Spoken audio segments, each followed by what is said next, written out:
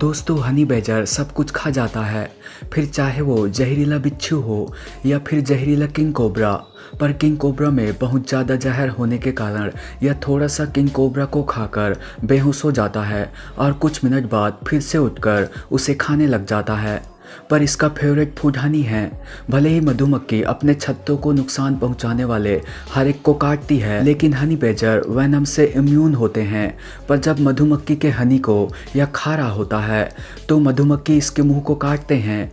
पर उनका शहद इसे इतना ज़्यादा पसंद होता है कि यह हनी के आगे सारा दर्द भूल सा जाता है।